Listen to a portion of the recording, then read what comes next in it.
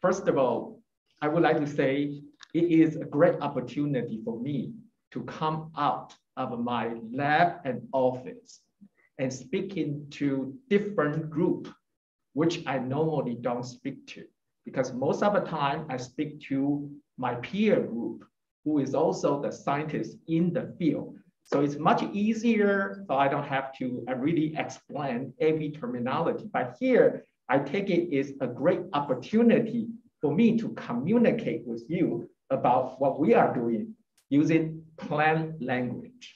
Maybe um, this is going to be a very interesting experience. So stop me if you have any question you are not, you know, if you have any concern or any question about what I'm saying, I'll be happy to explain it to you before I move on.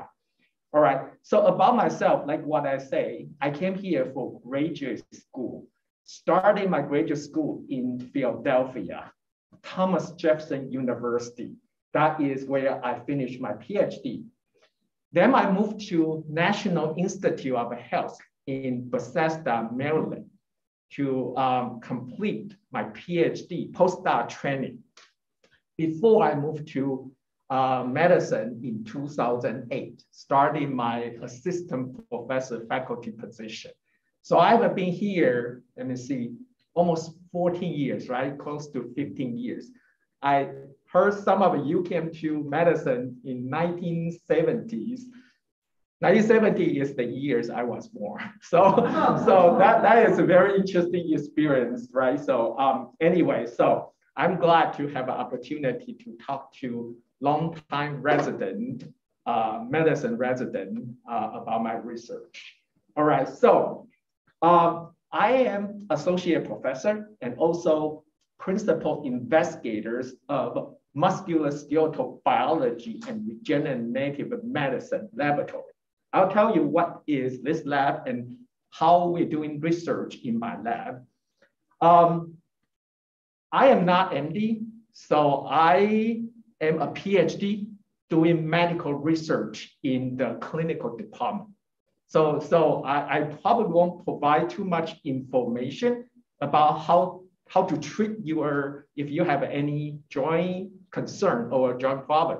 But I do have the opportunity today to tell you what I think you can possibly get in the future with the research currently I'm doing in my laboratory which is focused on stem cell therapy. So my research will focus primarily on the pri uh, stem cell therapy for osteoarthritis treatment. Let me see, how can I move this forward? Last page, I guess. Oh, yes. So again, my lab doing research, trying to develop stem cell-based therapy as regenerative treatments for cartilage repair. That's the goal. So we study different type of stem cells. So we focus on how to regenerate articular cartilage, which is the surface, which is the tissue on your joint surface. We also try to develop approach to generate good quality stem cell for treatment. And during this process, we also try to understand why our stem cell get older. That's the three area of research I'm currently focused on. So I would like to ask you, how many of you have seen ad like this? Almost every one of you, right? So this is interesting because sometimes you see the ad on TV, it will tell you, hey, now you can get stem cell injection that can magically cure your joint diseases or joint pain. Or you can see magazine in the airline seat back pocket. You can open it, you'll see, wow, such and such clinic provides this type of a therapy that can really magically help you to heal your joint. Is that really true? What is the challenge? that is the topic of my talk today. I hope before you leave today, you have some understanding about this kind of uh, stem cell clinics, whether it is real or not real for providing so-called effective uh, stem cell treatment. All right, so what I'm going to cover today, basically, I would like to tell you about osteoarthritis, right? So first, I would like to tell you what is the problem of the osteoarthritis or what is the current issue or you can expect in what you see when someone has osteoarthritis. And uh, what is the current treatment for osteoarthritis and the challenges that is associated with the current treatment.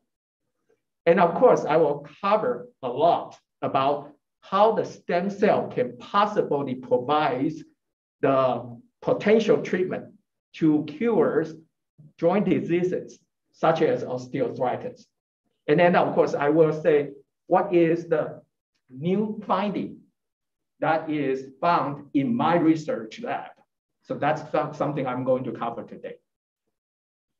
All right, so you all know osteoarthritis is a disease widespread almost in the population, not only in United States, also in the world. Almost there statistically says it's about one out of six people who suffer some sort of arthritis. So what is arthritis? Simply saying, arthritis is described as inflammation and stiffness of a joint. So that's a very simple definition. So when your joint suffer from stiffness and inflammation, you can say you probably have uh, arthritis. But there are many, many kind of arthritis. That's probably more than 100 different kind of uh, uh, arthritis. The most common one are two. One is called osteoarthritis. The other one is rheumatoid arthritis. These two are the one most of people suffer from. They have different causes to these two type of arthritis. One is generally caused by aging, mechanical loading, or other factors such as genetics. And uh, rheumatoid arthritis is generally caused by autoimmune diseases. So these two, what I'm going to cover primarily is osteoarthritis because that's most popular, or I would say is most the disease that affecting most of the people. So arthritis, by definition, again, like what I said, is inflammation of the joint. So previously, people thought osteoarthritis is only attacked cartilage tissue, which is the tissue on the surface of the joint. Now, there are more and more evidence showing arthritis is a whole joint disease, not just a disease attacking cartilage. So when someone suffers from osteoarthritis, their cartilage is degenerated and also soft tissue such as synovium, ligament, tendon, they are all affected certain degree by the disease. And even underneath of the cartilage, there is a subchondral bone. It will undergo sclerosis. It becomes stiffer. So the whole entire area, basically inside the joint, get inflamed. They have all kind of uh, activity going on. So that leads to degradation of the tissue. That's the new idea. And uh, I would like to make sure you know osteoarthritis is a whole joint disease. One of the symptoms is cartilage degeneration, all right? So if you get that, how can we try to treat patient? So you are probably aware of people maybe around you or your friends have received so-called total joint replacement, right? So this total joint can be hip or knee replacement. This is a graph that's showing how total joint replacement is done. In general, they use metal and plastic prostheses to replace damaged cartilage or joint surface. So this is a very, I would say, brutal procedure. Basically, they will have to cut a significant portion of your joint tissue, whether it is affected or not affected, then allow the space to put in metal and plastic. So you can see this procedure is very unnatural. Even it promised with almost 80 to 90% of a successful rate after 10, 20 years after operation, it still have the significant challenge. The major challenge is this following. Number one, these procedures are not suitable for young patients. If you just started receiving this procedure at age 40, 50, they are 30 years or 40 years before the end of the life. You probably have to go back to a hospital several times to actually get those replacement. And then also the procedures normally is safe, but there's always a chance associated with the infection as well as blood clots. And as well as depends on the procedure, how it goes, sometimes there will be a pressure caused by the stress because unfitness of the process, prosthesis and your, your own tissue. So that caused the undue pressure that will cause pain. The last one is a psychological stress. People don't like to have the metal in their body. So when they receive a metal prosthesis inside their body, that sometimes created a kind of a, the, you know, the psychological stress because they have anxiety that developed. Even you don't feel you are the same anymore. So that is the concern. So because of these both physical and psychological condition change due to receiving processes. we were thinking about whether there's a better way to help patient to change, uh, to actually be able to uh, repair their cartilage or the way to actually restore the function of their joint. So here comes the way of thinking or the concept has been proposed a couple years ago. And then people thinking, if the cartilage or tissue is damaged inside the joint, can we simply just remove those damaged tissue and regenerate the new tissue? And that tissue is yours.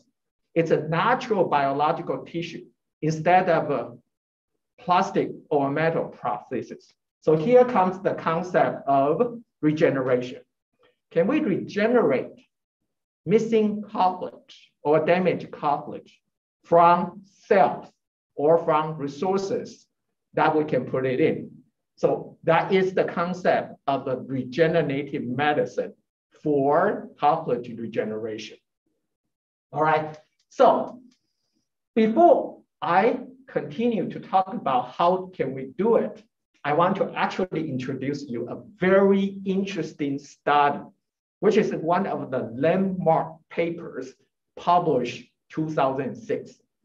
So the first question is, I want to ask you, maybe do a very short survey. Does cartilage renew or regenerate, regenerate itself?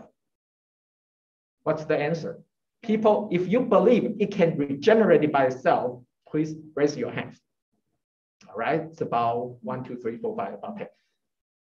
Those people who did not raise your hands probably don't believe the cartilage can regenerate it by itself, right? All right, so here comes the very clever study by a Danish, Denmark, the scientists in Denmark. What do they do? They use so-called radiocarbon dating analysis to determine whether cartilage can regenerate it by itself. Let me give you the conclusion first. Then I will go back to explain how clever their method is to determine whether our body cartilage can regenerate it by itself. So here is the conclusion. The collagen matrix of a human cartilage is an essentially permanent structure with no significant replacement in adult life. And that the occurrence of the disease, such as OA, or osteoarthritis, does not increase collagen turnover. Essentially, this sentence tells you cartilage, if no any intervention, they are not going to regenerate it by itself. Why they say that? Here comes the way they do, do it. How many of you have heard carbon 14 bomb pulse method? Okay, this is very clever. Let me tell you what happened. So you know, between 1950s and 60s, there are a lot of ground testing of the nuclear bomb. So this nuclear bomb released carbon-40 as a radioactive material in the air. So they started about 1950 to 60. So, so the radioactivity actually in the atmosphere reached at the peak in 1965. So this is actually radioactive uh, detections curve during those years. All right, so because carbon is the essential building block of DNA. So if the carbon, carbon 14 is enriched in the air, human can or animal can take those in our body through any drinking or just simply breathing. So those carbon 14 can get into our body and then start to incorporate it inside our, our DNA, as well as in our tissue and cell. So now we can take DNA or tissue to look at the level of carbon 14 to determine when is this cell or tissue is established or formed or generated. So that's how they do it. And then how do they do this study? So before I tell you how they do it, so you probably have to take this sentence and to kind of uh, remember it. That will help you to understand the result. So this is not hypothesis. This is how they kind of using this premise to actually conclude their data. So tissue with a high turnover rate, meaning you know they kind of continue to replace it by itself, will have the carbon 14 at the latest and recent atmospheres label, right? So that means, you know, they can constantly change. So tissue with a low turnover, they basically, let's say, build up 20 years ago. So that carbon 14 label should be the same with the carbon levels in the atmospheres at 40 years, 20 years ago. So that is the kind of the theory behind it. So here comes the way how they do it. So they, in 2012 and 14, these guys, scientists, taking the sample from the patient, 15 OA arthritis patient and eight healthy patient, take their cartilage sample and then analyze carbon 14 level. These patients were all born around 1950 and 60. So so they can actually look at their carbon 14s in cartilage. If this cartilage is able to renew itself very quickly, so they should have the carbon 14 label at the much later years, such as they are in the close to the label in 2012 or 2013 or 2020. But if the cartilage was formed when they were born, in 1950 or 60, their cartilage label, the uh, uh, carbon 14 label in cartilage should stay similar or at the same level with that, those atmosphere carbon 14 label in 2000, uh, 1950 and 60. So here is the curve. They found that carbon 14 in cartilage, specific in collagen, consistently responded to those in the hemispheres in 1950 and 60. Here is the detection, and this is a curve of the carbon 14 in hemispheres label. So that is very interesting. So essentially, with this data, they conclude collagen is not specifically, this cartilage cannot renew itself. So once it's injured, they stay as it is. There's no way they can actually replace it by itself. So that is how the conclusion was made based on the carbon 14 radioactive dating analysis. So I hope I explained it well, and this is a very clever way to actually determine whether our cartilage can be regenerated or not once it's injured. Right. With that, seems like there's no hope, right? No. The hope, go ahead. Is there, I think the cartilage can, can heal itself from an injury. Is healing different than um, regenerating? Yes, healing and regeneration usually is the term you can exchange there. Okay. But healing can be described as a way of a generated tissue without quality. In other words, let's say you have the scar forming when you have the cut on the skin. What is formed? Fibro tissue. Those are fibro tissue will heal your wound, but it did not generate the same quality of a tissue that is you expected. For example, cartilage can actually regenerate it by, you, by a tissue called fibrocartilage, which is a low quality, not long lasting cartilage. So we don't consider that is regeneration. It's a heal, but it's not regenerated. Okay, all right. Well, so, I've never heard that distinction. What's a this distinction? healing wasn't a regeneration. Well, it depends on the quality. So regeneration yeah. should generate the same quality or same type of structures you had before it's injured. That's a great distinction. Yeah, that's a very big differences. All right, so so what can we do? I have a question. Yes. Um, do you know if collagen in other parts of the body has the same low turnover rate as collagen in cartilage and joints? There are 22 different, 28 types of collagen, right? So the different collagens has a different turnover rate. Okay. But in general, we're talking about collagen type 2 inside of a cartilage. That turnover rate is so long, okay. years. So I remember it's over 20 years, or even 30 years, and much longer, right? How long is that? I don't remember exactly the number, but it generally, in your lifetime, those collagen fibers, collagen type 2, don't renew itself. That's my understanding. Okay, thank you. Okay. So the cartilage, again, don't regenerate it by itself. When I say that, it's by definition of there is no external intervention. When there's no intervention, meaning no any drug injecting or cell injecting, it will not regenerate by itself.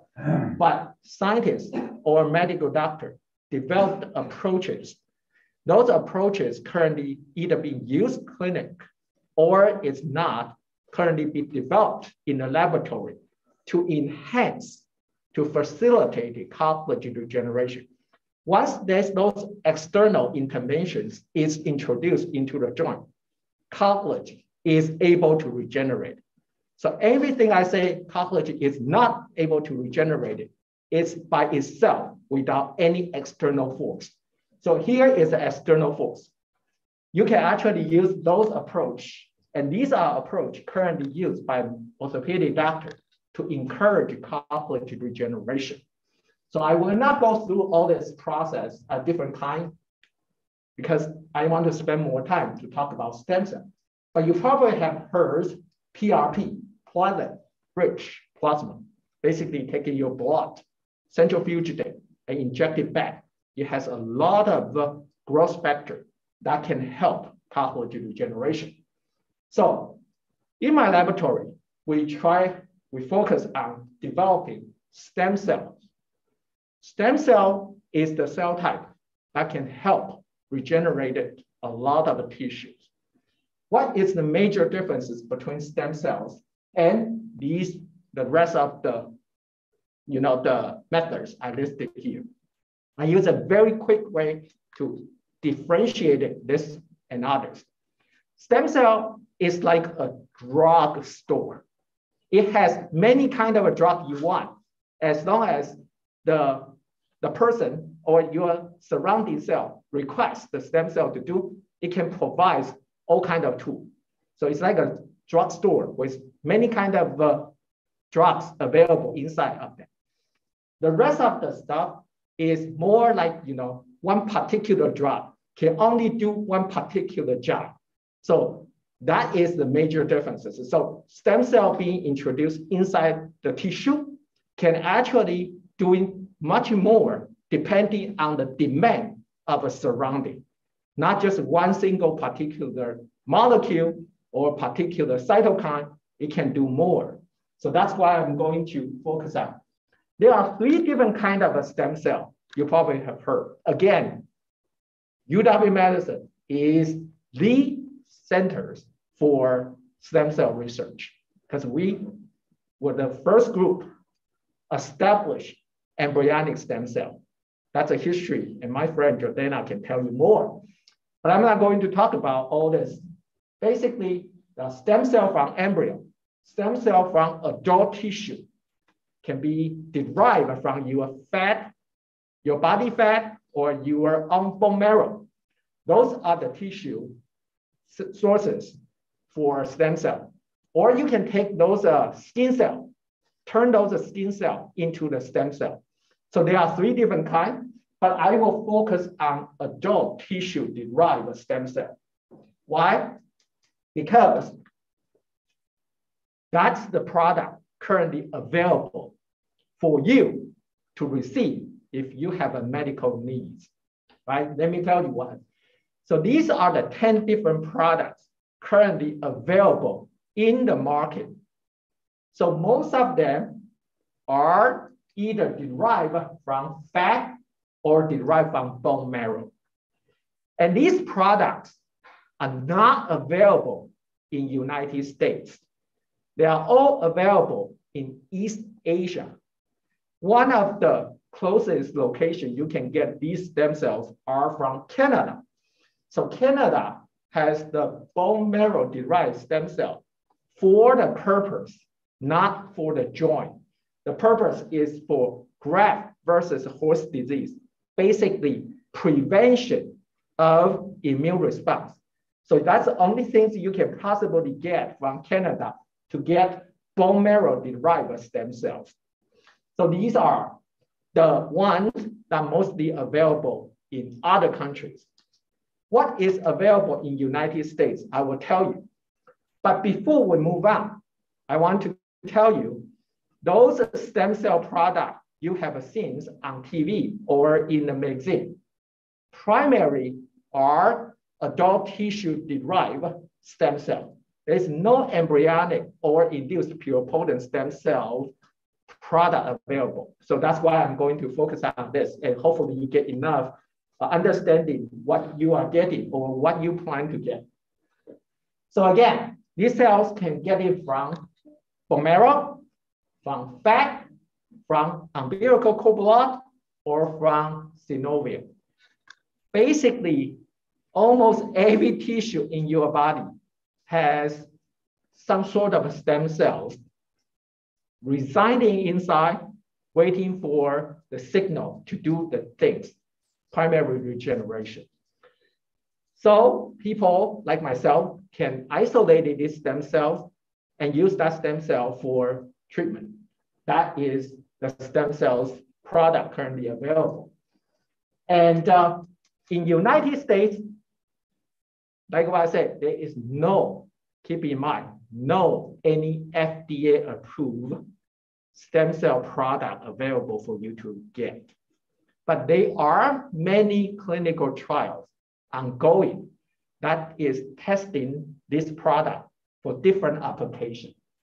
These stem cells, again, from those adult tissue I just described, can be either from your own body called autologous or from another patient which is the allogenic. So they are underdeveloped for different treatments of diseases. So most of them are in the phase one and phase two clinical trials. This is very important. You need to know what is a phase one and phase two clinical trials. Until you can really, really, before you want to actually get it, just like the, the drugs or medicine you get, any biological product has to pass FDA approval. FDA has the four phases of the approval. That is phase one to phase four to test safety and efficacy of the product.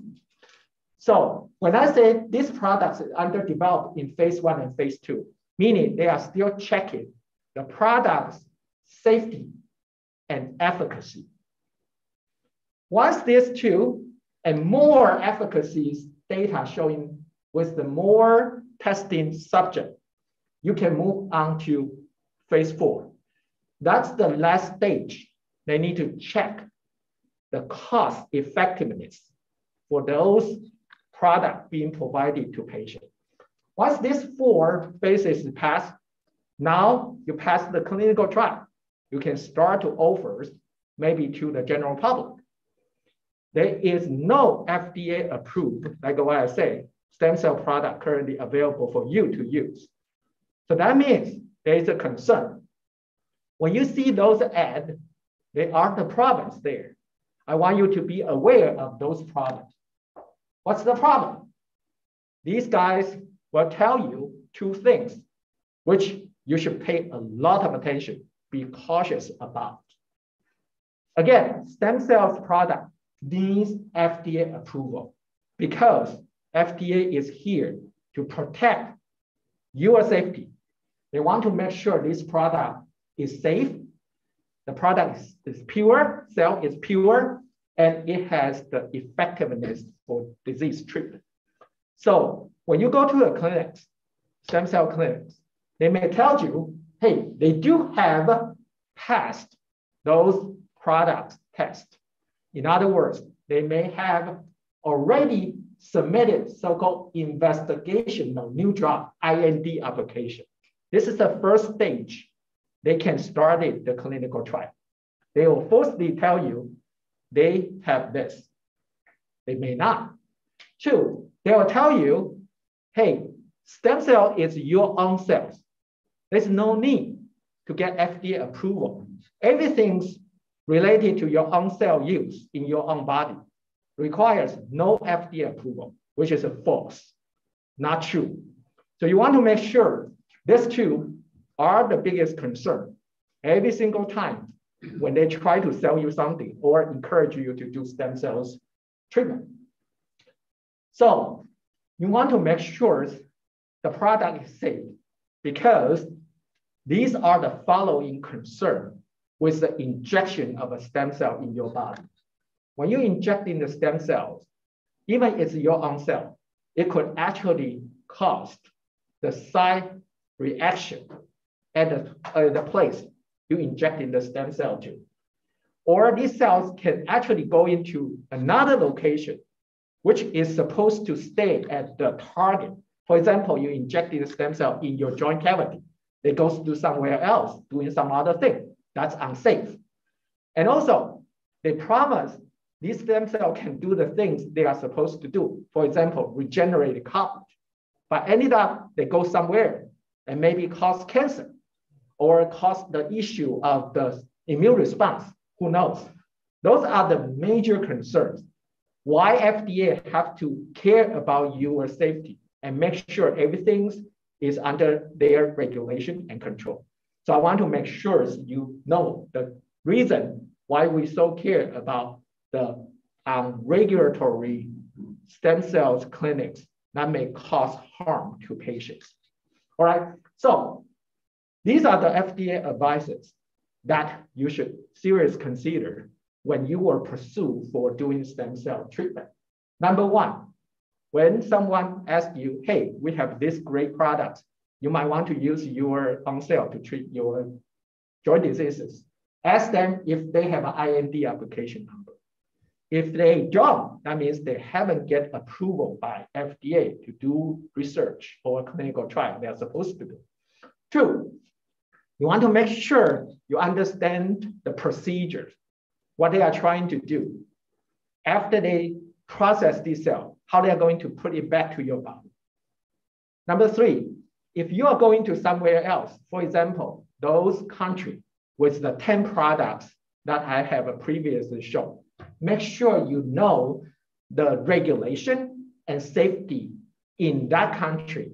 So make sure you have been well protected before you decided to receive those products in other countries.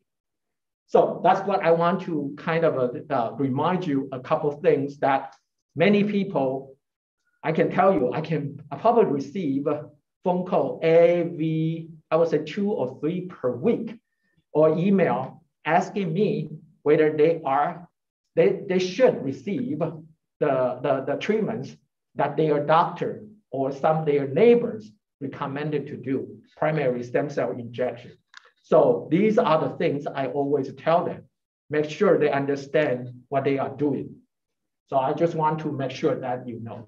All right, so those are the general topics about osteoarthritis, why we need to um, use a stem cell and what stem cells can do and what is the concerns of a stem cells treatment or challenging associated with the stem cell treatments. Here I want to talk to you about my research, what we are currently focused on. I will try to be very um, I will try to use the plain language, explain it as detailed as possible for you to understand some of this so-called you know, scientific data. But I promise you, you won't fall asleep because I will try to make it uh, as interesting as possible. All right. So one of the very important research goal we try to achieve is that if one day stem cells therapy can be approved, and then that can be used for patient. The first important question or the goal I try to achieve is that I want to get good quality of a stem cell for injection. It's understandable. Why? Because when you want to get your own cell injected to your own body, most of us receive stem cells at the more advanced ages. You probably won't get stem cell treatment when you are age 20 and age 15, right? Most of us will receive stem cells at age 60, 70, 80. So those stem cells has been inside our, our body for 50, 60 years. Depends on how you treat your body. Do you drink a lot? Do you take a lot of medicine? Do you not care about yourself, giving enough exercise or those things that keep yourself healthy? Your body age as well as the stem cell age. So think about it. If your body age, you can, even you can, you are allowed to give a stem cell to yourself. Your stem cells is not considered as a young stem cell they even they have been isolated and put it back to your body, they probably have a limited capacity to do the job they are supposed to do. Compared to someone who is at age 20, receive their own age 20 cells, even younger. That will be differences. In other words, the stem cells capacity is dependent on the donor's age and donor's health condition. You agree with me, right? So my laboratory is trying to see those people who needs the help, usually at the advanced stage, how can I make their old stem cell young again? That's a first study. I try to present it to you guys. All right, stem cell age. So the number of the stem cell decrease along with the age. That's very obvious. So why these guys are aged? Number one, because a lot of stress. So those stress, such as oxidative stress, protein ag uh, aggregation, inflammation, all those stress come with age that stress your stem cell. So stem cell aged. And then the repair system inside of our cell get decreased. In other words, they cannot really do what they were supposed to do when they were young, right? So this DNA repair, metabolic biogenesis, those are the repair system become less and less active. So because of the balance of degeneration and increase of stress, that caused the stem cell aging. So this is the problem. So like what I say, when you are young, you take your young cell and you can actually implant your young cell. But when you are getting older, those old cells and tends to have a capacity decrease. So they cannot really do anything. But these are the ones we try to help. So how can we do the help?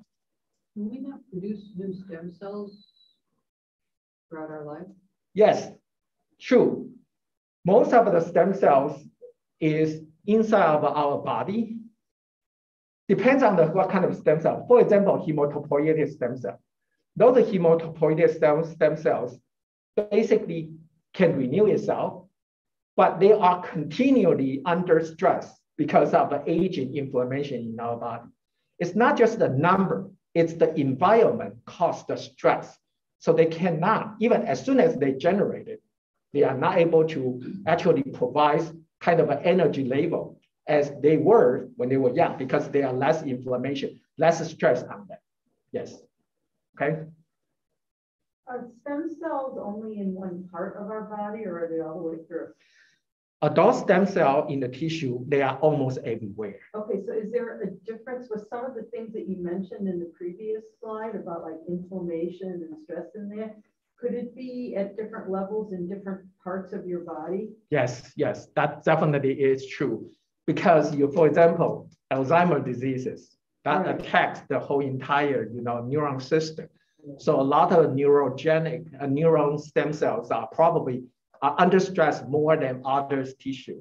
But for example, pancreas, right? So if it is a pancreas, someone who has a diabetes, those pancreatic cells, stem cells stay, stay in the pancreas, probably also being affected as well. So it depends on the situation. And then inflammation is not the same at the different, uh, in the, at the same level in the different tissue. So do you look for like the best part to take them from? Um, yeah, that's a very good question. When you say that, you probably means that you know we can take it from fat or to the bone marrow.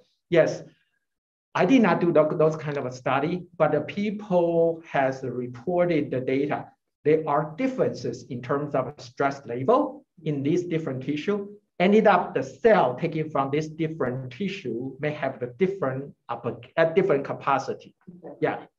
But my point here is I don't care where they are coming from. In general, no matter how careful you are, your body is aging and your cell is aging, right? So how can I help to make them young again? For example, I have a 60 years old stem cell. Can I make them become like a 20 years old, I mean 10 years old stem cell? This can be done. Let me tell you how it's done. So imagine you have these uh, aged stem cell inside your body. So we now can actually tell them, hey, we know how you get aged, how you are actually become not able to do the things. We can put you back to more primitive stage.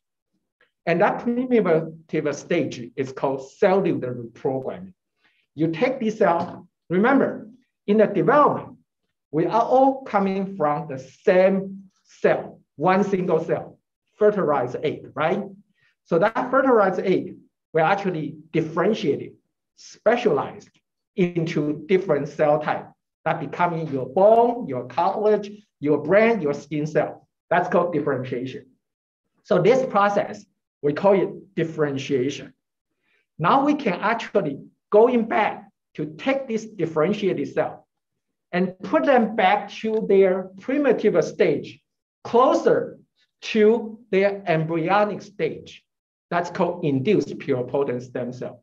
How do we do that? Scientists already find those markers, particularly some sort of the driver inside of the cell, can, if you make them produce more, these so-called pluripotent marker can make these cell become young again.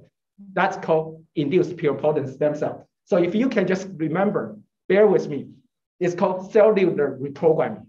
So reprogram from the old cell to the young cell called cellular reprogramming.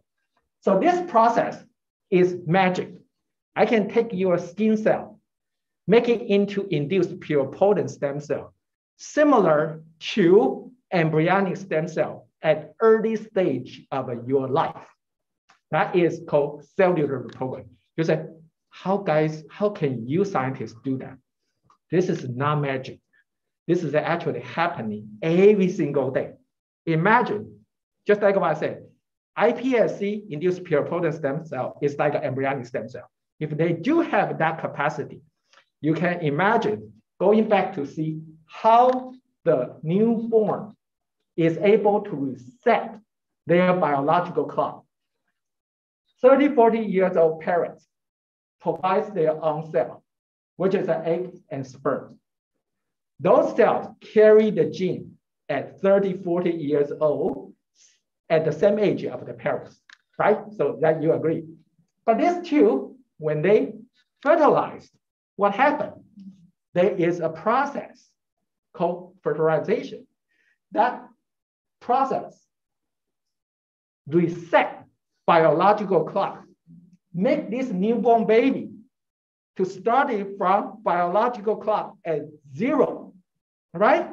So this is the source of our embryonic stem cell. These are the cells with the capacity and genetics makeup similar to induced pluripotent stem cell, which I just described using cellular reprogramming to reprogram those O cell, or you can say somatic cell, differentiated cell, back to induced pluripotent stem cell. Those cells is similar to embryonic stem cell. So I just want to quickly tell you, this is not magic. This is the kind of, you know, we're doing things what the nature does, but we just figure out how to do it in the lab. So with that concept, you won't feel, ah, these guys are crazy. How do they do that? We're just kind of doing what the nature does, but we figure out how to do it, right? So if you can think about it, this is what we do. Very interesting research in my laboratory. Thank my postdoc in my laboratory, Dr. Zhao, who has taken synovial fluid, joint fluid, derived a stem cell. There's a kind of, you know, stem cells floating there, or you can say progenitor cells standing there. We reprogram cell back to induced pluripotent stem cell. Basically, erase those aging markers. They are gone. They become young again. Then we differentiate these cells, make them become the same cell type as their parental cell. Now we have this same cell from the same patient, but these cells just younger than their parental cell. So we can do that. Once we have this cell, iPS MSC, we can start it, inject it, or making cartilage tissue as we want. And what's the difference between these two? Again, this guy are much younger, has been rejuvenated artificially by using cellular reprogram. That's a simple way I put it together. So we now can make the old cell become young stem cell, then further differentiated into this young target cell. And this cell too are the same cell, only age differences. That's, that's what I want to say. So we want to actually compare this young and old cell. Let me give you at least two slides scientific data to show you it truly become younger again. I promise it will not be too much, okay? So number one, the way we check whether they are young or not, it's by the number. So if you look at the, this is non-reprogrammed old cell, this is a young cell. So you can see those little tiny uh, spindle shape of cell, they are more compared to the younger one, given the same amount of time to grow. And then this is a curve after 18 days these guys are younger cell. They can generate more, proliferating more, repopulate themselves more faster. That's the one side of the younger cell, right? So it's very obvious, right? If you're younger, you can regenerate much faster. Can you review what SF, MSC, Oh. just what those definitions are? Oh, synovial fluid Synovial fluid, the joint fluid. derive mesenchymal stem cells. That's a problem. Yeah. Not muscle stem cells. Yeah, not muscle stem cell. It's a mesenchymal, it's from bone marrow. Okay. Right, so so you can say it's kind of like a, the this is synovial fluid, but it's a mesenchyme. Mesenchyme is the developmental terminology. It's, it means you know it comes from the mesoderm. The mesoderm is the area of an embryo that generated muscle, bone, and cartilage. All right, so so number one, that's two, and two, just look at the staining. This is actually the marker of aging, similar to the gray hair or wrinkle of your head or your face or your head. So if you see the green color here, that means they are older. They have this marker indicating I'm older. So you can see the reprogrammed cell has less marker, aging marker, compared to their parental cell. Once you reprogram it, they just become younger again. So I guess I can probably skip this. And then without saying this, this is just another marker demonstrated uh, it's young again. So was this the messenger RNA level? Uh, yes. This is actually the protein. Oh, protein. This is a protein, and this is a, a messenger RNA. Yeah. So this is a protein. So these are the aging marker. The aging marker shows you have a more aging marker here, and this guy is the proliferative marker, meaning they are more proliferative if they have this marker. So basically, just just uh, um, I realize I want to actually spend more time to talk about the data. So what is beauty of the next step? Once we have this tool, we are able to identify what gene, what molecule control aging. We found it. We found GATA6 and FOXP1 are two very important molecules that control aging, at least partially. There is no magic, one single molecule control everything. But what we found here is the key molecule regulate stem cell aging. So essentially, GATA6 is pro-aging marker. FOXP1 is anti-aging marker. They actually work counteractive together inside of our cell. So this data just show when we take out that particular pro-aging marker, that aging marker is gone. Wrinkle is gone, gray hair is gone for the cell.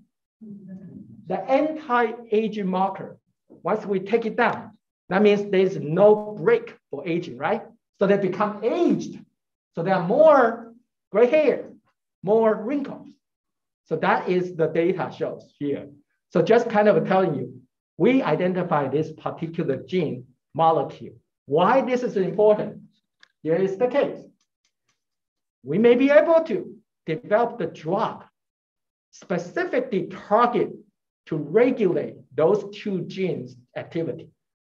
Imagine if we know the target, we can regulate that guy pro-aging marker, make them young, uh, decrease the anti-aging marker, make them increase as what we did artificially controlling the gene. Can we do that using the drug? That's the one beauty.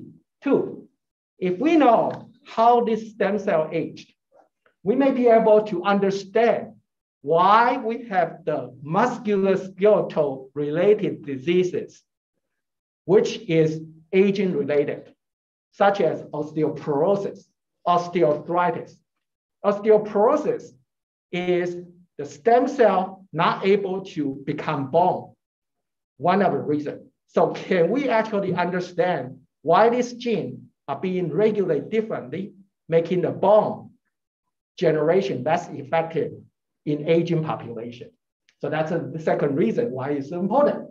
Three, we may be able to really actually make our young, you come to the clinics, fine, you are 18 years old. Can we take your 80 years old self, somehow using the way we actually identify, manipulate it, rejuvenate it, and then put it back. Even you are 80, you can enjoy having the 20 years old, 15 years old stem cells to help you to pre treat your disease. So that's something we found it potentially significant about our research finding. All right, so with the time, I want to spend a couple time, a couple slides and tell you the next kind of a interesting study we have done. Now we have a stem cell. We want to actually start to regenerate the cartilage. Remember, your cartilage is degenerating or it's gone because of the osteoarthritis, right? So can we regenerate these cartilage inside of the animal as a proof of a concept? One day we can use that data and doing the same in you. So first thing is we use a small animal. Small animal is cheaper, less regulatory requirement. So we can actually use a mouse to check whether the stem cell can regenerate cartilage or generate cartilage inside. So the answer is yes. This white piece, transparent tissue, is cartilage-like tissue inside of the mice that we regenerate. So these are histology picture if you look at the real cartilage histology section, you can see this little tiny white spot is the cartilage cell. So we can simulate or replicate the morphology or the structure of a cartilage using stem cell. That's something I want to show you. And this different color indicated the extracellular matrix of a cartilage proteoglycan. Those are the matrix of your cartilage. So it is abundant of those cartilage matrix, suggesting we successfully make it collagen type 2. Again, green color indicate the production of a cartilage specific matrix, which is a cartilage type 2. Answering your question, that's collagen type 2. Without collagen type 1, or collagen type 10. Why cartilage type 1 is important to check? Because those low quality of a cartilage called fibrocartilage, which is essentially fibrous tissue, which is not good quality or uh, considered as a long-lasting cartilage, produce collagen type 1. They don't. Just a little bit, but it's not big enough to actually affect the quality of the cartilage. So this slide basically tells you we successfully making cartilage inside of the little tiny mouse. That's not good because mouse is different from human. So the next step before we can actually see uh, getting approval for clinical human clinical trial, we need to go making our animal model bigger from mouse to the larger animal. All right. So we're thinking about larger animal what kind of a large animal we can, we can use. There are several factors that is important to be considered. Number one, you want to consider joint size, right? The size of a joint will be nice to be similar with the human joint. And these are the animal, two animal, rabbit and rat, maybe too small. And uh, the sheep, horse, and pig, human, are probably uh, similar with their joint size. The second very important factor is the thickness of a cartilage. You know, every animal has a different thickness of the cartilage. So like the pig and horse has similar cartilage thickness with the humans. Those are perfect model. However, horse are too expensive. You probably cannot really, really use a horse to do 20 animal study. And also horse is too big. Not many vet will be able to handle it and then be able to operate it. So that is required a significant effort to collaborate with someone who has that capacity to do horse. So now it turns out to be pig may be a reasonable and also a very nice model we can use. So here comes our next study. We're thinking about, hey, not domestic pig, because domestic pig, again, 400 pounds, that normally no one can handle it. But this little tiny mini pigs can possibly do the job. So we were thinking what the type of the mini pig we can possibly use to check availability and popularity of these animal strengths, or you can say pig breeds. We have identified Yucatan, Göttingen, Wisconsin Mini. Those are the three pigs model we can use. But we need to find out which one actually being able to do the better job in terms of making the reprogrammed stem cell. Here is a very interesting first time study we have done. I don't know if uh, we first have to decide how we are going to make these cells. So we take the cell, which is actually pig skin cell. We convert it or reprogram these cells into the stem cell. So now we have this pig induced pluripotent stem cell for regeneration of a cartilage. That's the first step. We have to do it. Once we have these induced pluripotent stem cell from skin, from pig, we now can actually make in a cartilage outside the body, then implant it back to that particular animal. So that's called autologous transplantation of the stem cell or cartilage. Interestingly, this is the first finding. No one has done that before. Our group is the first time doing this. We actually found there's differences between different spe same species, but the reprogramming efficiency is different between different breeds of the pig.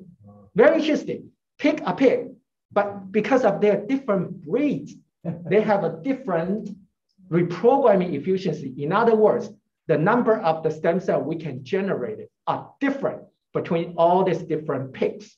Even they are same mini pig, same species, but different species, different breeds. we are the first one identify this kind of interesting data. Another group also have identified interesting differences between African American, Caucasian, in terms of their cell reprogramming efficiency. The result has been published in Stem Cell. African Americans descendants, their cells tends to be easier to be reprogrammed than Caucasians cell. Same cell, but different, same species, human race, but different colors of the people. They have differences in terms of their cellular reprogramming efficiency. My lab has identified the story between behind these differences. We have just submitted a paper, now it is under review. We have found some epigenetic protein, which is actually enzyme, is behind the differences of these reprogramming efficiency. I'm not going to talk about that too much because, you know, again, limited of time. Now we have this cell from the pig, we can actually put it back. How do we put it back? We make it into a cartilage piece of tissue and then implant it back to the previously created defect. Of course, this pig doesn't have the osteoarthritis, right? So we have to make a traumatic defect. We have to kind of whack it.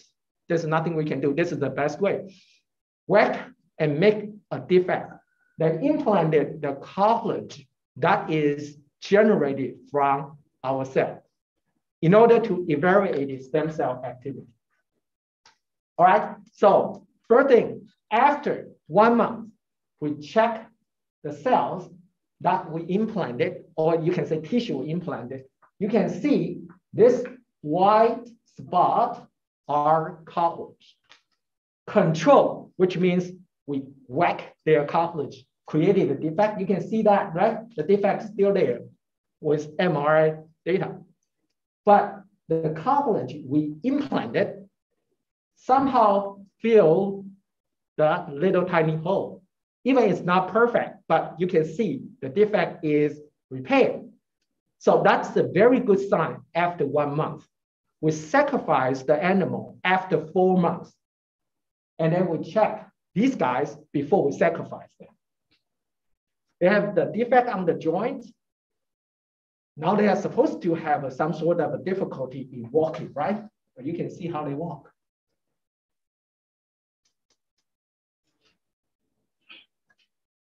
They walk perfectly well. There's no pain. They don't feel pain. If they feel pain, they will stay there idle and not walking. Is that at Arlington or on campus? Uh, it's on campus on the um, Livestock. mineral um, uh, mineral point. Uh, Char- uh, Charmany. Charmany, yes. Yeah. So I have a 24 pigs there. They are great. They, they take care of my. Um, but I, I have to apologize if anybody who is animal right people.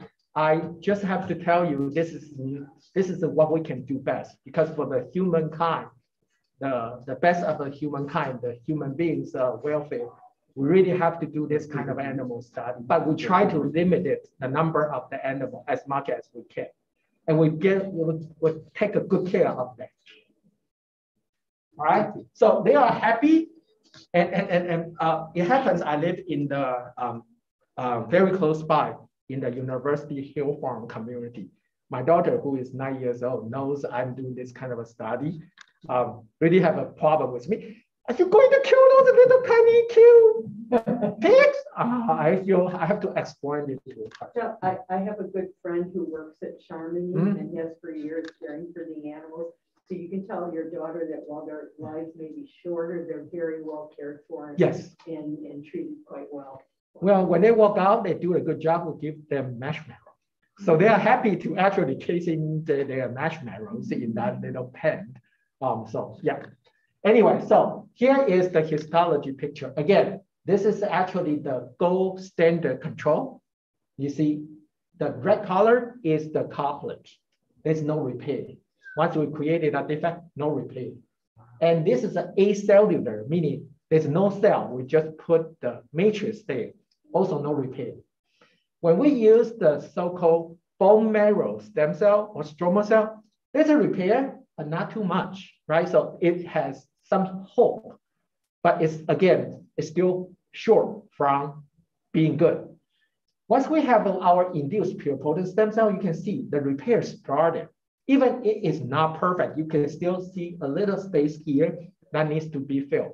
The reason is we only keep them for four months. Giving them longer time, they will be able to do better. But animal study is very expensive. We cannot possibly keep these guys for two years.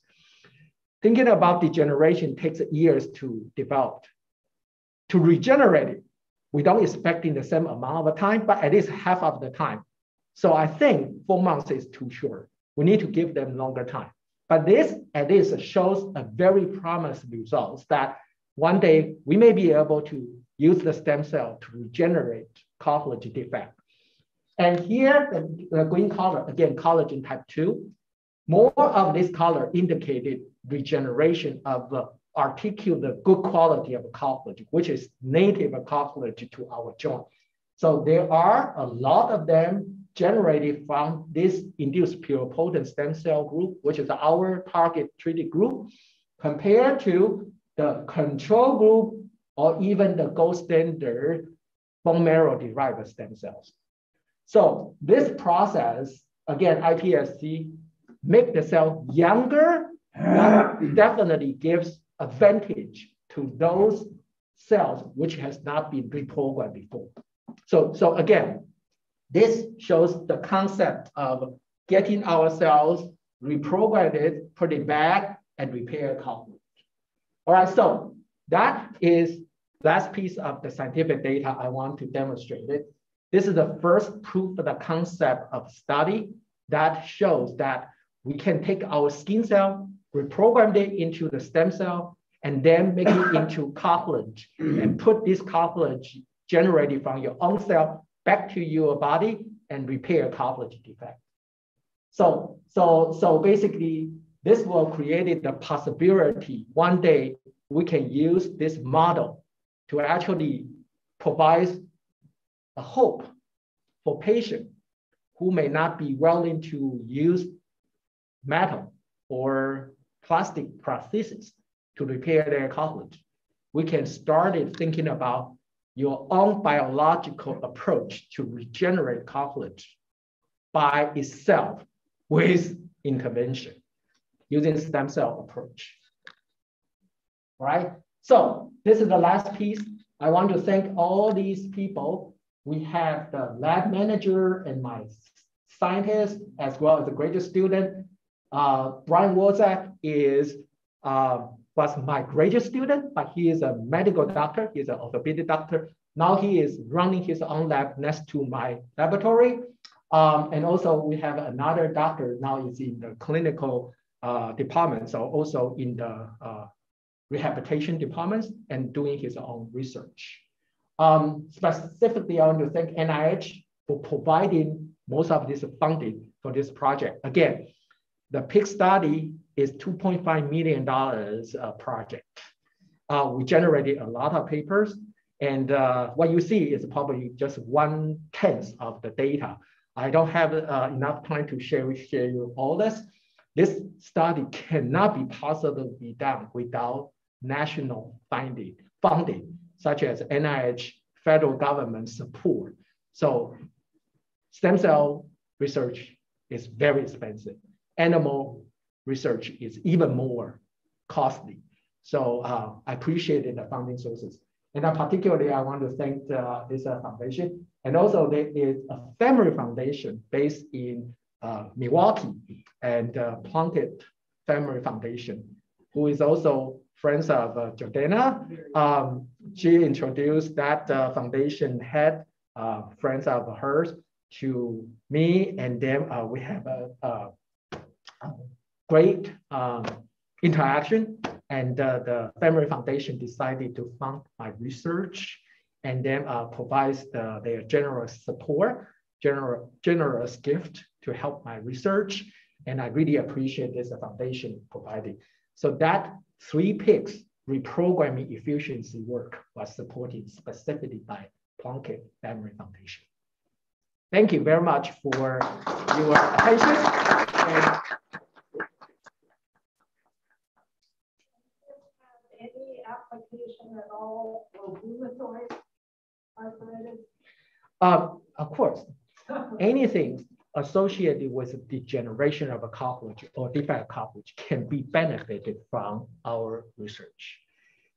Particularly stem cell has a capacity, which I did not show it here. They are able to immunomodulate the environment. In other words, they have a capacity to suppress inflammation. If rheumatoid arthritis caused cartilage degeneration, is due to increase of the inflammation or immune cells. Injecting stem cells in that region is able to suppress these inflammation caused by the overreactive immune cell. So definitely that will be possible. Yeah. Yeah, you, you mentioned that um, there's a, a, big cost in uh, you know reprogramming the, the cells and making younger for the autologous donation. I was wondering how that cost might compare to just having a bunch of like allogenic lines out there already. So you, you just, you just put those in and maybe deal with rejection issues. How, how would that balance out? The, the cost of uh, you know doing it on an individual basis versus just dealing with rejection. Okay, cool. That's very good questions. Um, very nice question. So the pig study, I didn't mention, it's the first study checking the concept of autologous. In other words, every single PIC cells that you see is from two years ago, we isolated from the same pig. So that is the reason this study is so costly and so expensive, so difficult to do. No one has done this. So most of people don't think this is a practical way to get stem cell treatment works. So people are working on allogenic meaning the different donors share their stem cell. This proves to be practical because stem cell seems to be very primitive. They are not yet to be able to be recognized by immune cell. There are many studies have shown taking human cell injecting to animal or taking pig cell injecting to rabbit, different species stem cell did not cause immune response. So we are currently, and many other scientists try to find out why this stem cell has a capacity to do immune regulation. Not clear yet, but it seems to be okay. No immune response was generated from patient receiving the different patients uh, on stem cell. So that I can answer you. So it's very likely one day there will be off-shelf stem cell products that can possibly be used by the patient who did not provide their own stem cell, but can benefit from other super stem cell. Umbilical blood is a good source for stem cells. Could that potentially be used to produce enough stem cells for use? Yeah, so the umbilical cord blood is a younger cell. So suppose the, they have the capacity probably with the advantage, but without the disadvantage of the old cells. So that has been investigated. Um, so I will say, yes, it will be a potential source of the stem cell product. However, currently there are a lot of commercial companies, they try to sell you the program. Say you should save your own or your daughter's own uh, daughters when they have given the birth that you should save their uh, stem cell for future use. I will be very cautious about this. Number one, the safety of the cell is critical. If you are thinking about taking the stem cell and stored it, and then you want to use it, that's probably 40 years later. How can you make sure the 40 years of a period of time, they continue to charge you for the service fee? In those 40 days, there will be no single days or single minutes that these cells are under attention. In other words, someone forget to actually keep them cool enough and they change the property. And then you don't know, they don't tell you. How do you make sure the 40 years long quality control? That's one. Two, at that time, 40 years later, I can tell you those issues associated with the young and old, which is the reason you choose the umbilical blood, probably no longer to be an issue. Based on my understanding, we can now reprogram your own cell, make it into young again. So why not just use your own cell? Even possibly, like the, this gentleman says, we can probably just take in the off-shelf products, which is not necessarily from the umbilical cord blood. It can be from maybe induced pluripotent stem cells, but those cells are even more powerful and more capable than the umbilical cord blood. So I will be very concerned. I'm not going to, if I were, I were you, someone asked me, hey, can you pay the service fee for 40 years for to save your uh, stem cell? I won't do that because there's no company you know, even GE or even Microsoft, can any company can last long, that long? Not sure. if someone just broke. You can, like instead of saving your child's own self-supporting, you can also free still, I think, donate the cord blood to a research bank for researchers to study together, right? Right. The cord blood registry or something like that, but I haven't checked it for many years, so I don't know if it's still a good option for people who just want to contribute to research overall. If, if stem cells don't induce a immune response, could you take any newborn's umbilical stem cells and use those in anyone. They don't have to be stored for 40 years. You could take any newborn cells and use it as a source of stem cells that could be programmed to do what job you want to well, yeah, that, that is definitely do possible. But again, you know, the FDA is not mm-hmm. able to really rule out what's the problems later on if we take in the cells not from your own right? So, so we're still trying to figure out whether this immune modulation or uh, other concerns we may possibly have is truly not there, you know, uh-huh. if we use a different cell type, right? Definitely is possible, but again, you know, this is still under exploratory stage. Thank you. We're not sure yet. All right, thank you very much. Thank you. Thank you very much. Thank you.